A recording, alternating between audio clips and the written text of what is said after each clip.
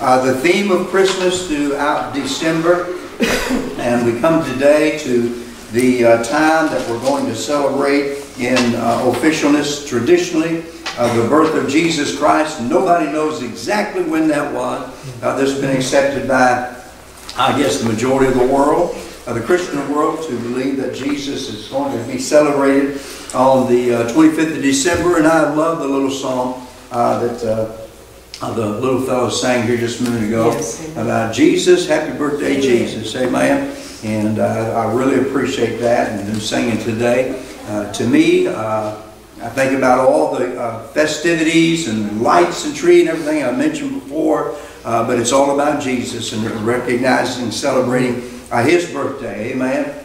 I'm not commanded in the Word of God to do it, but I think it is so neat uh, that uh, we have chosen today as, as a, a, a world, a, a creation, uh, to worship Him and to give Him uh, a special time of remembrance in a world that has thought with so many other things to add to it and has taken away the meaning. I'm glad today uh, that we can still stop for a little while and recognize the meaning that Jesus Christ is Lord and Savior. Amen. That baby that was in a manger is coming back one day to be our King. Amen. Turn with me to the book of Luke chapter 2. I've got a number of places I want you to go with me in the Word of God today, so keep your Bibles handy so that you can read along. If you're not going to be able to do it that quickly with me this morning, at least right now where I'm going so you can get together with it later and read, read about it. The whole thing uh, about Christmas today is we recognize uh, who He is. Amen? And so the title of the message is That's Him.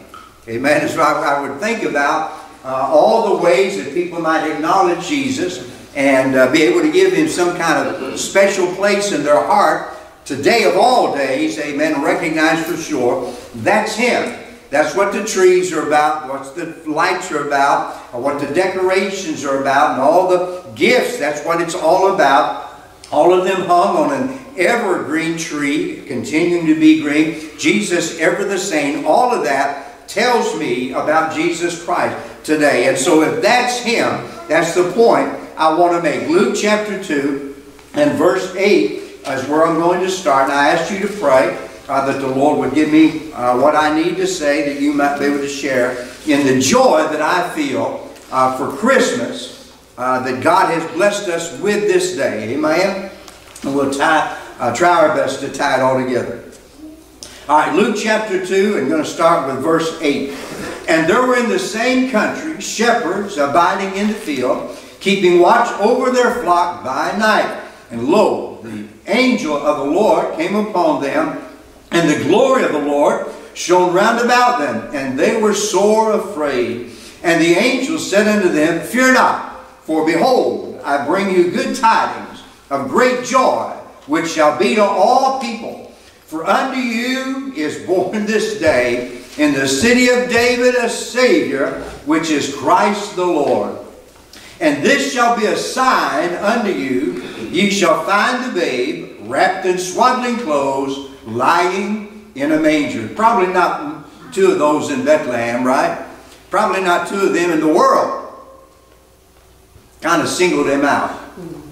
And suddenly there was with the angel a multitude of the heavenly host praising God and saying, Glory to God in the highest, and on earth peace, goodwill toward men. And it came to pass as the angels were gone away from them into heaven, uh, the shepherds said one to another, Let us now go even unto Bethlehem and see this thing which is come to pass, which the Lord hath made known unto us. Not the angels, but the Lord has made it known unto us. Let us pray.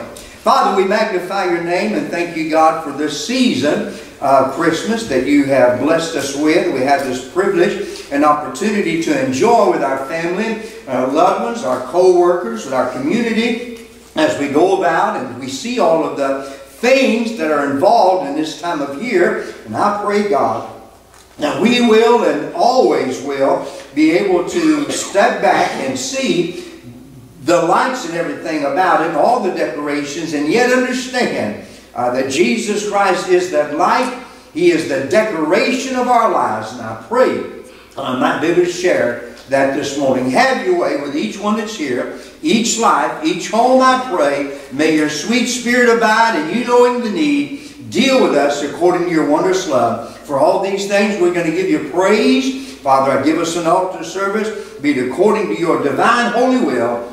It's in Christ's wonderful name we pray. And amen. amen. All right, so that's him. Amen. That's the point uh, that we need to get across that the shepherds have made something been made known to them by God, by the Lord, uh, that this thing that's happened in Bethlehem is for them, and they're having a desire and understanding that get to the place where that they see this thing, they hear this thing, they're they're moved at the light and the angel chorus, the army that was there, everything that was going on, and they're drawn to say to themselves at that particular time, Let us now go even unto Bethlehem and see this thing which the Lord hath made known known unto us. So at that point, they're believing God, right? Amen. They're believing that what little understanding they have of prophecy and of the Messiah, of Christ, they're at that place where they're believing that that's what we're supposed to do. That's Him. And we know we understand by the rest of the story that they get there and they understand and they believe that that's Jesus Christ. That's the baby. All right, go with me to Luke, or Matthew rather, chapter 2. I'm not going to read a whole bunch, but I want to give her enough of it for us to understand, drawing it all together. Matthew chapter 2, verse 2 and 3. And so wise men come from the east. They get to the place, and they say in verse 2, saying, Where is he that is born king of the Jews? For we have seen his star in the east, and are come to worship him. When Herod the king had heard these things, he was troubled, and all Jerusalem with him. Look at verse 9. And when they heard the king, they departed and lo, the star which they saw in the east went before them till it came and stood over where the young child was. And when they saw the star, they rejoiced with exceeding great joy. And when they were coming to the house, they saw the young child with Mary his mother, and fell down and worshipped him. And when they had opened their treasures, they presented unto him gifts gold, frankincense, and myrrh. So when the uh, shepherds went, he was still a little baby wrapped in swaddling clothes lying in a manger. When the wise men went, he was already 12 to 24 months old. He's in a house and they come and they present the gifts and they worship him. Uh, so the shepherds uh, have the information from God. They believe, the wise men, get the information of the scripture. of they're believing God. They find out where the baby king is. The sun saw the star. They rejoice once again. They find him in the house and they present him gifts of gold, frankincense, and myrrh, gifts fit for a king. And so they believed and they worshiped him. Amen. And so do you know, do you believe that Jesus Christ is Lord? Do you accept him as your Lord and Savior? One of these days he's going to be your judge. He's going to be king, amen, in your life. And he's going to have control. He's going to have authority. He's going to reign. And you need to know that. You need to trust that. You need to believe that in your heart and in your life. Not because I said, it, but because the Word of God said it. Amen. And the Word of God is the last authority that there is. Amen. Over top of Obama, over top of Trump, over top of whoever, Jesus Christ's Word will stand when all the rest are gone. Amen. Go back to Luke for just a moment in chapter 2. And I want to pick up where I, I got the idea. That's him. The shepherd said, That's him. The wise men said, that's him. But in the early time, uh, we go to Luke chapter 2 and verse 25. And behold, there was a wise man in Jerusalem whose name was Simeon. And go to verse 26 now. And it was revealed unto him by the Holy Ghost that he should not see death before he had seen the Lord's Christ and came by the Spirit into the temple. And when the parents uh, brought in the child to do for him after the custom of the law, uh, then he took up in his arms and blessed God and said, Lord, now lettest thou thy servant depart in peace according to thy word. For mine eyes have seen thy salvation, which thou hast prepared before the face of all the people, and a light to lighten the Gentiles, and the glory of thy people Israel. And so Simeon had recognition from God, revelation, and he believed, and he worshiped God at the moment. Uh, that's going on. And go to Anna now in verse 36 and verse 38.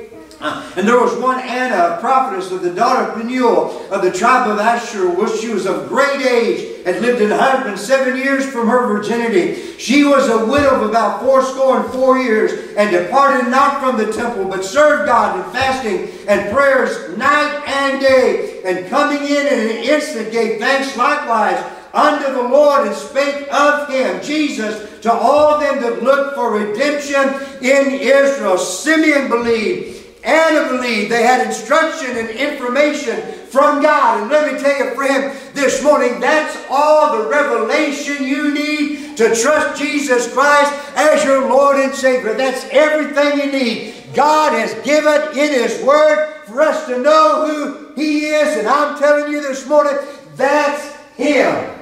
There is no other that fulfills Scripture like Jesus does. There may have been a few that could come close to it if the parents knew ahead of time and they programmed it all out. But you go to the Old Testament, you go to the New Testament, you go to people's lives who are deep and, and messed up in sin, and you see the change that God made in them. My friend, there's proof positive that Jesus Christ is Lord and Savior. Amen. From the manger to the cross to the ascension. Amen. To the rapture and to His kingdom coming. All of that points to Jesus Christ. And there's nobody else in history that fulfills that obligation that Jesus Christ has been proved to be God. Amen. Some fellow said one time, why, even Jesus didn't say when he was God. Let's read a little bit about that. I believe that he did. Look with me in the book of Isaiah, chapter 61. Remember, I asked you if you would to write it down or follow this with me so that you can have this fresh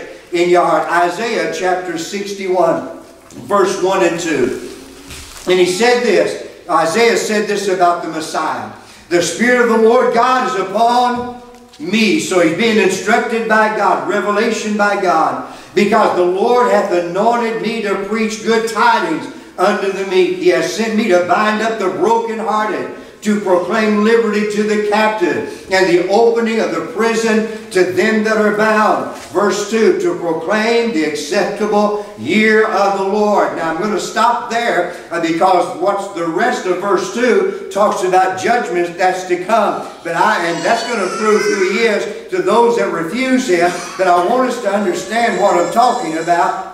And go with me into Luke chapter 4 and verse 16 Jesus is teaching the people and he's instructing them. He's in Capernaum now and he's going to be given a little sermon, if you will. Luke chapter 4 and verse 16. And when he came to Nazareth, where he had been brought up, as his custom was, he went into the synagogue on the Sabbath day and stood up for to read. And there was delivered unto him, think about this, the book of the prophet Isaiah. And when he had opened the book, he found the place where it is it was written. Now let me stop there for just a moment. In the synagogue back in olden days, uh, they chose verses of scripture a year ahead. And so just by fate, just by chance, just by revelation, uh, Jesus shows up on this particular day in Capernaum in the synagogue, and all of a sudden, of all the readings that's been done up to this time, when they deliver Jesus the scroll, he opens it up to the exact place that I read to you just a moment ago in Isaiah chapter 61, verse 1 and verse 2, at least part of verse 2. Let's go now to the rest of what we need to read. Verse 18. This is where Isaiah picked it up. The Spirit of the Lord is upon me, because he hath appointed, hath anointed me to preach the gospel to the poor. He has sent me to heal the brokenhearted, to preach deliverance to the captives, the recovering of sight to the blind, to set at liberty them that are bruised, to preach the acceptable year of the Lord. That's what Isaiah said the Messiah was going to do. Now, in other words, Jesus is saying, that's me. Amen. He's trying to get him to understand. That's me. You may not be blind. You may not think you're in prison. You may not be bound by, by man or anything like that. You may not have sickness, disease. You may not be dead. Amen. But that's still me. I'm telling you, that's me. I am the Messiah. That's what the world needs to know and understand that Jesus Christ has come into the world to save sinners. Amen. The Apostle Paul said, Of whom I am chief. Doesn't matter who you are, how far down low you've gotten, Jesus Christ is able to lift you up, set your feet on the solid rock, amen, and give you the joy and peace that the shepherds, that the wise men had, that Anna and Simeon had, amen, that they could say, Here is the Christ child. Amen. That is Him. That's what they were trying to get across. Look with me in another place now in John chapter 7. I'm going to read quite a bit. I'm not going to get deep in all of it, but read quite a bit. I want to hit it with you. Uh, John chapter 7, verse 25. Then said some of them of Jerusalem, Is not this he whom they seek to kill? Meaning that they were going to kill Jesus. He's teaching them. He's teaching them things that they didn't appreciate. Who's he talking to? He's talking to the Pharisees and the Sadducees. He's talking to the religious people of the day. He's talking to the political people of the day. He's letting them know that, amen, You've got your agenda, but I'm on the plan and authority of God. And so the common people hear the teaching of Jesus. They see all these people around that want to kill him, and they're marveling and amazed that they're not doing anything about it to grab a hold of it. Here he is. It's our chance to kill Jesus. Reach out, touch him. He's there. And what do they do? They stand back in amazement as they hear the teaching that Jesus has got. Verse 26 But lo, he speaketh boldly, and they say nothing unto him. Do the rulers know indeed that this is the very Christ. Amen. Whether they did or not, some of them did, but whether they did or not, amen, the common people picked up on it. What did they pick up on? That do the rulers know indeed that this is the very Christ. This is Him. In other words, or that's Him. Howbeit, we know that when this, this man, we know this man whence he is, but when Christ cometh, no man knoweth whence he is. Where did he come from? Amen. We know where this guy came from. We Nobody knows when Christ is, is going to come, when he come from. Then cried Jesus in the temple. He taught them, saying, Ye both know me, and ye know whence I am, and I am not come of myself, but he that sent me is true, whom ye know not. In other words, God sent me, and you don't know him. Amen. That's pretty good slap in the face. That's pretty hard preaching. Amen. He might not want to take up an offering at this particular juncture. Amen. But I know him, for I have come from him, and he has sent me. And they sought to take him, but no man laid hands on him because the hour was not yet come. They sought to take him. How did they seek to take him? You go get him. No, you go get him. Amen. No, you go get him. Listen to what he's saying. You go get him. They sought to take him, but no man dared to go up to him. He was there, he's available, he could have been easily captured and apprehended, but no man came to take him. Amen. Verse 31. What does this reinforce? Many of the people believed on him that that's him and said, When Christ cometh, will he do more miracles than these which this man hath done? Amen. Proof positive, it's in. Remember, I told you in time past, numbers of times, that the things that Jesus did, the miracles that he did, was his regard of credentials. This is who I am. These, this, my miracles will introduce me to let you know that I am the Christ. Brother Wick, if I could see a miracle today, I believe. Friend, you don't need a miracle. The Word of God has been able to stand strong and firm and authoritative and has been made known to be true. It is the truth of the Word of God. When all of the rest of men's words have fallen by the wayside, that to me is proof.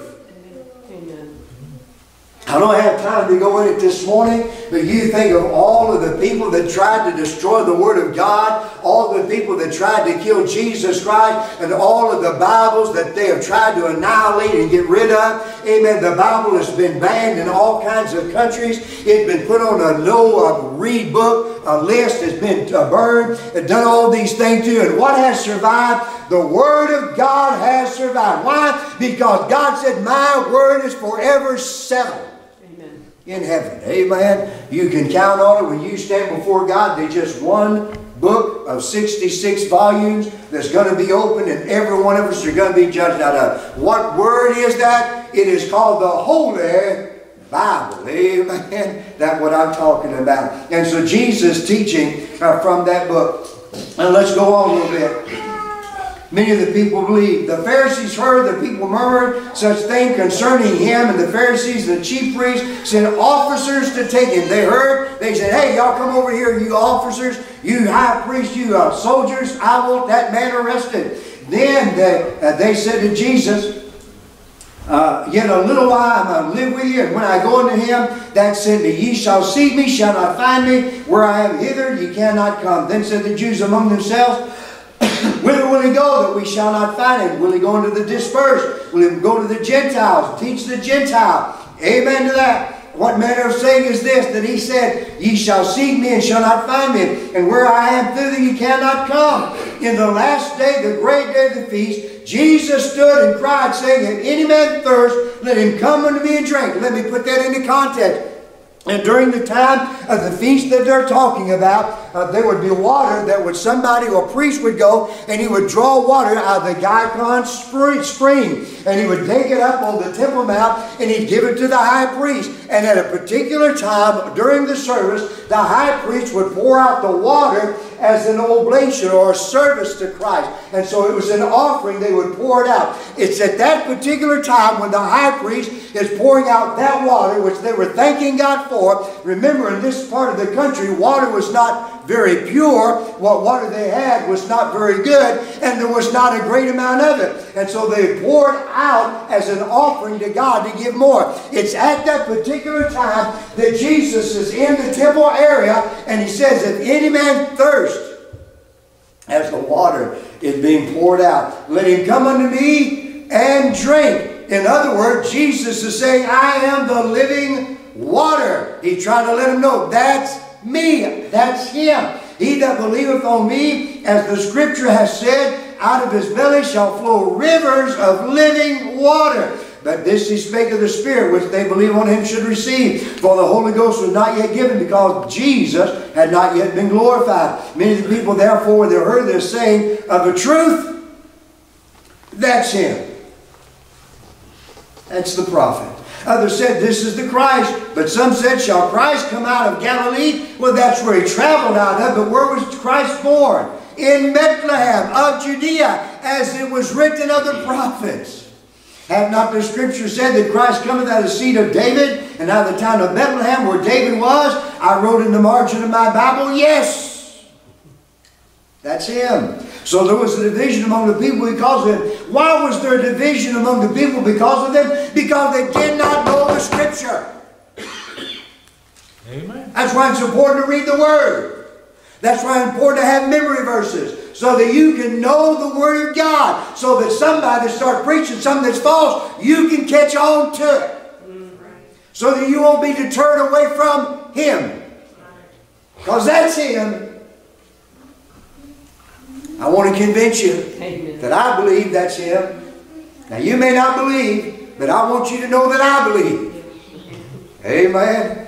I can't think for you, but I can think for me. And I can impress upon you what I believe. Whether you believe it or not, I believe it's Him. Amen. And some of them would have taken Him, but, but no man laid hands on Him. Some of them would have taken Him, but no man laid hands on Him. Later on, they got together. Why didn't you go? No, I was waiting on you. If you'd have went, I'd have went. Amen. Ain't that the way the world is? Huh? How many times have I heard people during altar call? Well, if you went to altar, I'd been right behind you. Huh? You could have got him then. You'd have got him in the right way, in the right manner. Amen. You'd have just come. Why did we wait? I know why they waited. It was not Jesus' time yet. That's why they waited. But why do people wait when the altar call is given? When the Holy Ghost of God is moving? When they feel God stirring in their heart and their life and He's trying to make a change and them given that living water? Why do they wait then? Yes. Because the devil said, not today. Mm-hmm. Yeah. Tomorrow. Next time.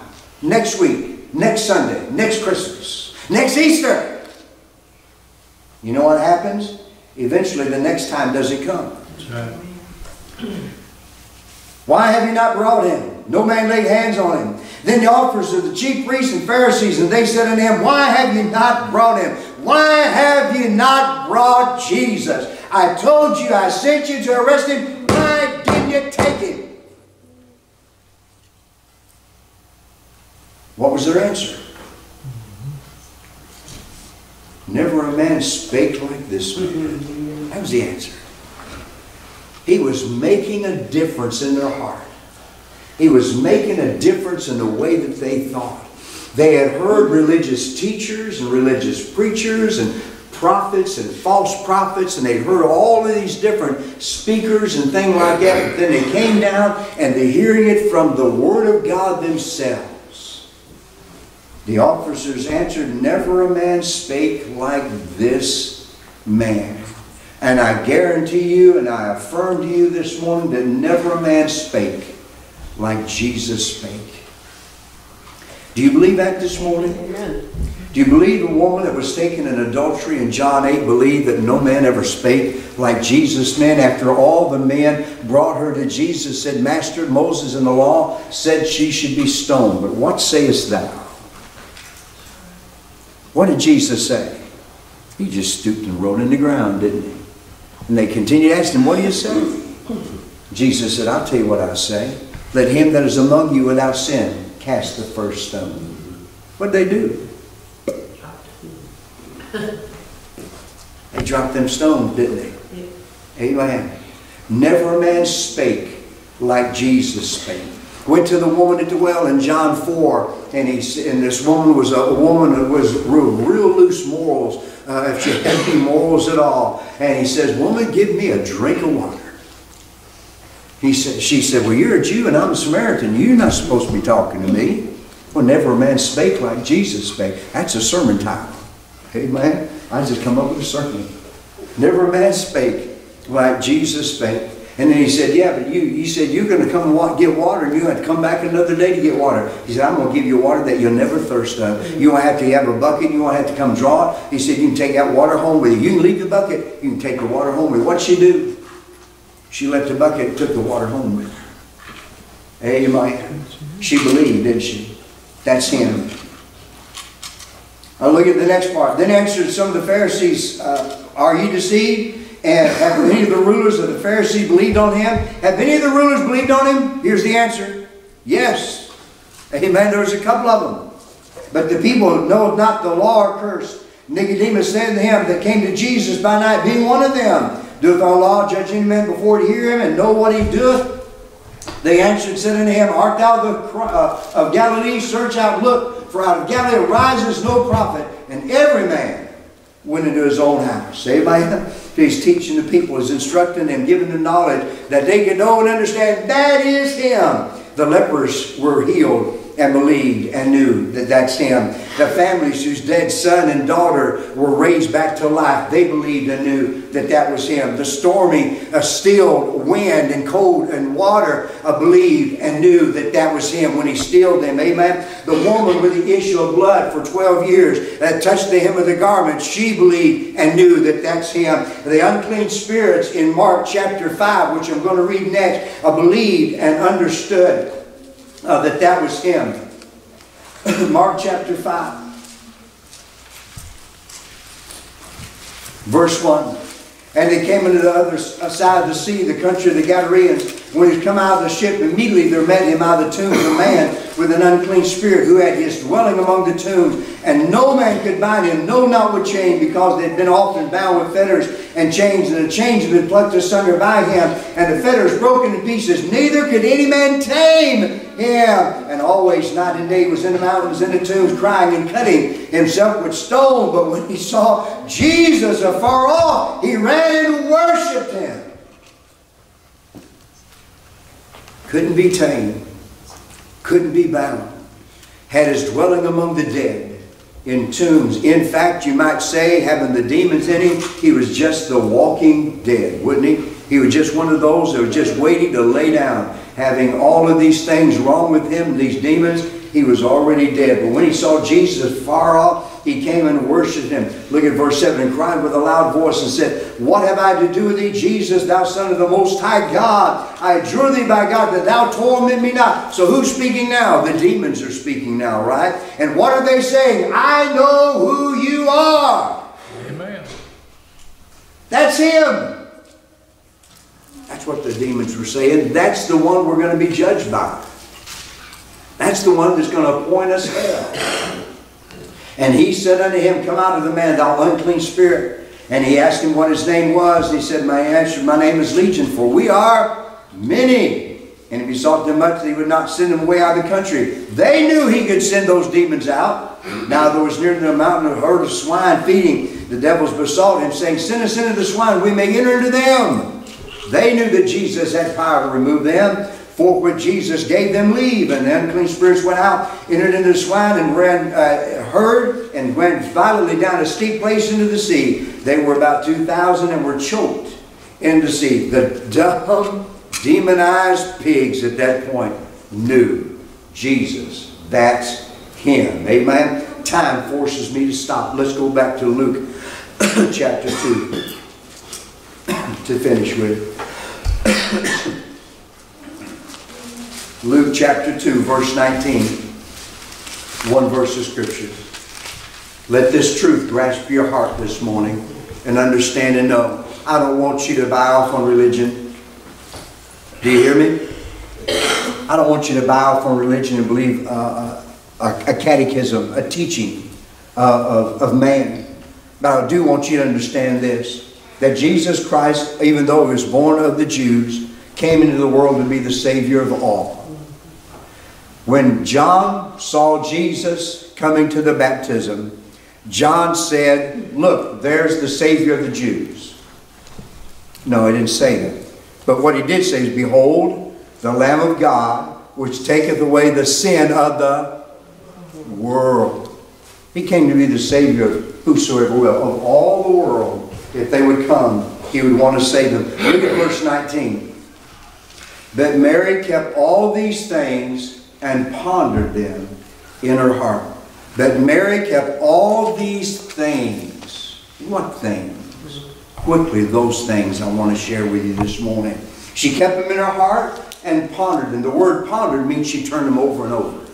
She thought on them. She kept thinking about them. She didn't let them rest. Everything that had happened and everything that she had heard and seen started turning over with her. And she was trying to make all of everything kind of mesh together, make sense, didn't she? Of everything she heard. Now, she didn't know all the plan that God had for her baby Jesus. But she was starting to put things together because she thought on them. She kept them in her heart and she pondered on them. Let me tell you, that's good advice. What God's Word says, you keep it in your heart. You think on it. You turn it over. Amen. God didn't want you to leave your brain at the door when you come in this morning. Amen. He wants you to bring it inside. Amen. God says in Isaiah, Come now, let us reason together, said the Lord. So God wants you to think about what He's got to say to you and understand that it's the truth this morning. So she kept all these things in her heart. All that happened. She thought about the virgin birth. Not being married and not having a husband. She thought about the words that came from the angels. She thought about what Joseph agreed with, what God had told Joseph, her husband. She thought about what the shepherds had to say, what the wise men had to say, what Simeon had to say, what Anna had to say, because all of them believed and they accepted and understood that that's him. Mary, she believed. Joseph, he believed that that's him. From the manger to the cross to the resurrection to the ascension to the rapture to the kingdom age, that's him. Amen. There he is, no other.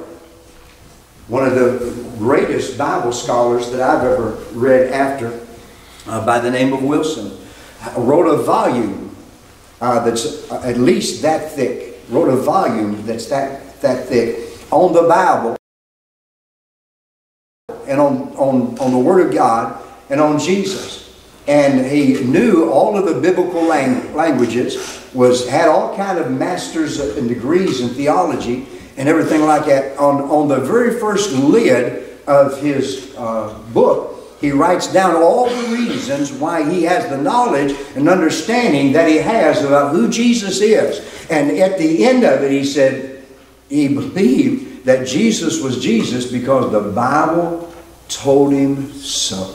It's that simple. After all the knowledge and instruction he had, what proved to him that Jesus was the Christ was what the Bible told him. Amen? We read about the books the different uh, lawyers have written proof, the verdict that Jesus is the Christ. Uh, Josh McDowell and different ones have tried to prove that Jesus was not Savior, that He wasn't actually here. It's just a story. As they studied to make sure that they could prove that He was not, they came to the conclusion that He was.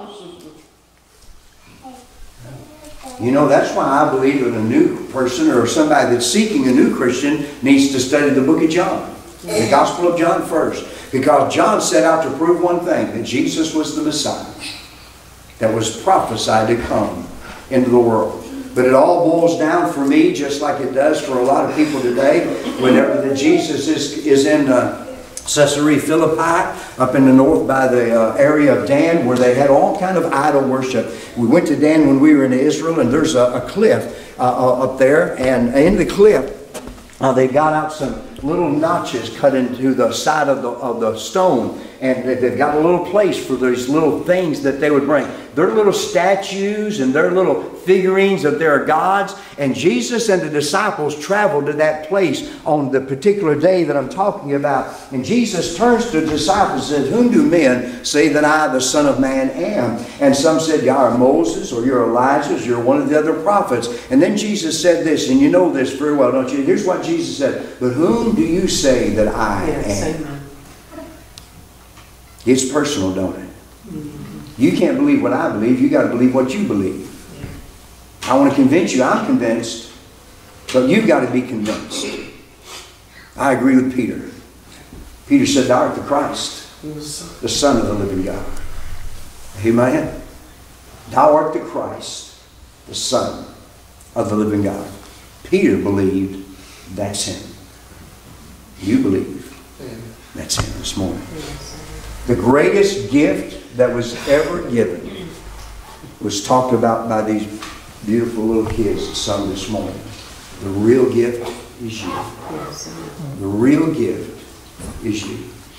All the things we do, no matter how much it costs, no matter how pretty it is, how personal what you give today as a gift or last night uh, to somebody that you love, no, no matter what value it has on it, the greatest gift that was ever given is Jesus Christ.